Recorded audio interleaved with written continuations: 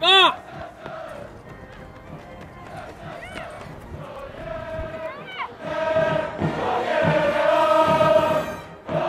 ぐる巨人への道。さあめぐる巨人への道。今回ですね4月の2日ということで今現在どれぐらいの能力があるのかめぐる。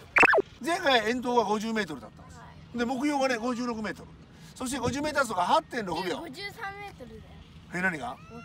目標目標 53m そうか 53m 変えたんだね。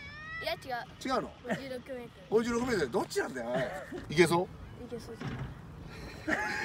何メーターぐらいいけそう？え50メート50メーターぐらいか。伸びてないかもかオッケーいいよ。じゃあ50メーター走ル50メートル走8.7、う？ん。7 8.7いやいや8秒6は切ってほしいんですよ。じゃあ8.6さあ今回一緒にえーやってくれるのは森川淳生君。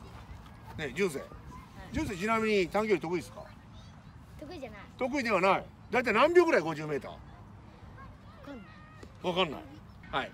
ではまず淳生からいきましょうか。はい。めぐるからいく？どうする？どうぞどうぞどうぞどうぞどうぞどうぞどうぞ。位置についてよーいゴー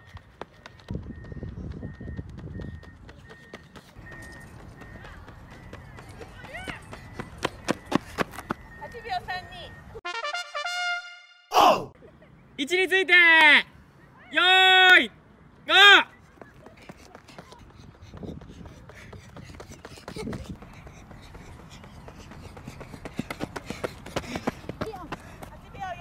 お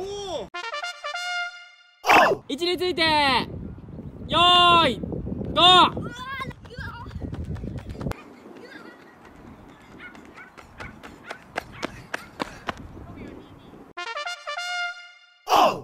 位置についてよーいゴー。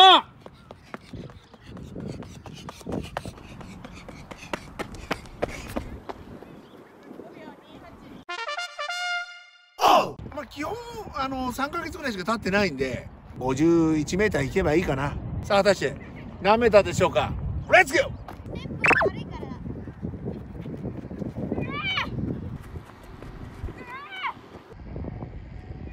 お来た来た来た49メーター 20!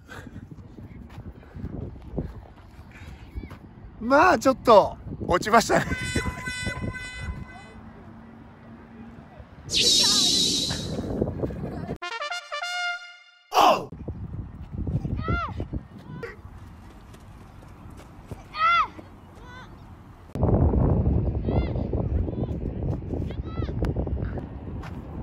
45メーター 90! できた今日の結果どうだった？えー、っとママうん。まあでも遠投伸びなかったけど足はちょっと速くなったな。ちょっとどころじゃない？のすげえじゃん。結構早くなったよな。この調子で頑張りましょ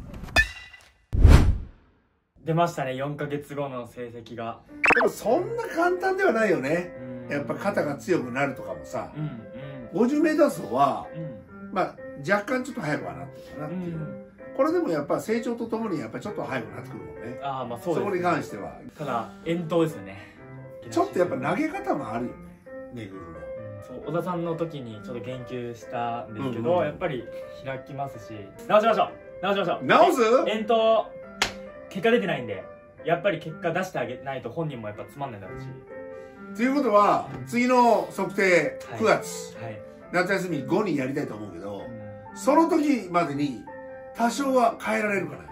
変えます。変えましょいきますか待機塾。う ありがとうございます。ねえ。では体育に聞きます。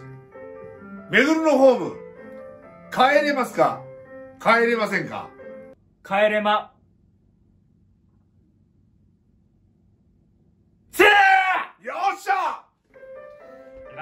ではもう早速明日から指導お願いします。はい頑張ります。